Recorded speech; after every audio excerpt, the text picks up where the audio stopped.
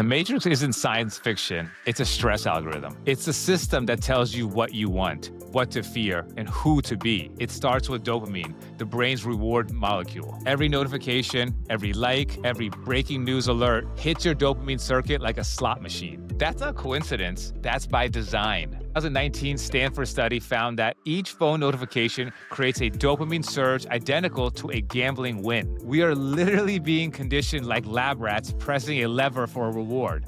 And here's the biology every dopamine high comes with a cortisol cost because chasing constant stimulation keeps your nervous system in alert mode. Cortisol rises, inflammation builds, focus collapses, and over time, your body forgets how to relax. The matrix isn't physical, it's chemical. It convinces you that peace is laziness and chaos is productivity. It's a world that keeps you running so fast, you forget to ask where you're going. Like a fish that can't see the water it swims in. Most people can't see the matrix because we're born inside of it.